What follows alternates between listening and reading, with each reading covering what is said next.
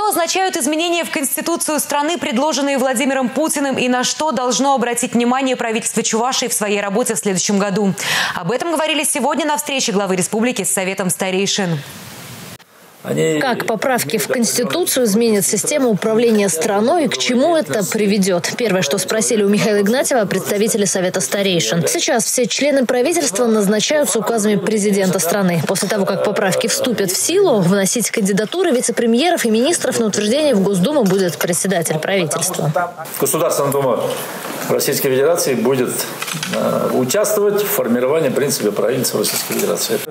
Гости обсудили остальную часть послания Владимира Путина, а затем перешли к предстоящему посланию Михаила Игнатьева Госсовету Республики. Глава Чувашии пригласил их в том числе и для того, чтобы собрать предложения. Среди тем, которые прозвучали, решение кадровых проблем в медицине, продолжение рекультивации свалок и строительство дорог в сельской местности.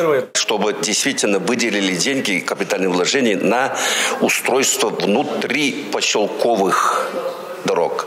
Потому что, в принципе, уже у нас и так вот за последние годы 70% населенных пунктах уже дороги есть.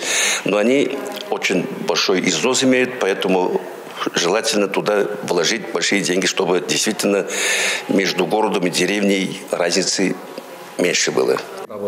Результат. Все предложения возьмут в разработку. Ольга Пырочкина, Бахтияр Велиев. Республика. Блока